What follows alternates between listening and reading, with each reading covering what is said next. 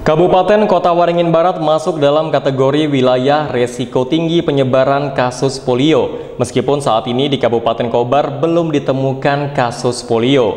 Akan tetapi surveillance PD3I tetap dilaksanakan secara optimal untuk melakukan upaya deteksi dini, serta respon cepat dan tepat waktu terhadap penyakit yang berpotensi menjadi kejadian luar biasa. Pemerintah Kabupaten Kota Waringin Barat sangat mendukung pelaksanaan PIN Polio tahun 2024. Lintas sektoral, tokoh masyarakat, dan tokoh agama terkait juga memberikan dukungan demi kesuksesan pelaksanaan PIN ini dan demi memutus rantai penularan penyakit polio. Kepala Dinas Kesehatan Kabupaten Kota Waringin Barat Ahmad Rois mengatakan, Kabupaten Kota Waringin Barat membuka sebanyak 677 pos PIN yang tersebar di puskesmas, posyandu, sekolah TK, PAUD RA, sekolah dasar atau MI sederajat, dan pencanangan secara serentak akan dilaksanakan pada tanggal 23 Juli 2024 di Puskesmas Kumai.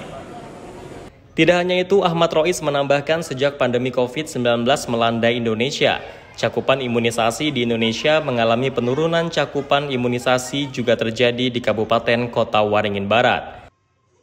Di tahun 2023, cakupan imunisasi dasar lengkap di Kabupaten Kobar mencapai 83,3 persen. Hal ini menandakan masih ada anak yang belum melengkapi status imunisasi dasar lengkap yang bisa menjadi celah penularan virus polio. Kabupaten di 27 provinsi di Indonesia yang saat ini eh, dinyatakan atau terkategorikan eh, wilayah eh, sangat berisiko terjadinya kasus polio harus atau wajib menyelenggarakan pekan imunisasi nasional polio secara serentak. Tujuannya adalah untuk menghalau, untuk menghindarkan, untuk mencegah anak-anak uh, kita ya Kota Waringin Barat beserta di seluruh anak-anak seluruh Indonesia uh, apa terbebas dari polio. PIN ini dua dua kali gitu ya untuk uh, putaran pertamanya 23 Juli, kemudian nanti putaran keduanya nanti dan setiap anak harus mengikuti uh, dua kali itu. Sampai dengan saat ini sasaran kita sebanyak 39 ribu 543 anak 0 sampai 7 tahun ya sudah kita hitung dan nanti eh, penyelenggaranya di Pospin ada 677 Pospin setidaknya yang nanti akan eh, menjadi tempat eh, apa pemberian imunisasi polio di Kabupaten Kota Waringin Barat.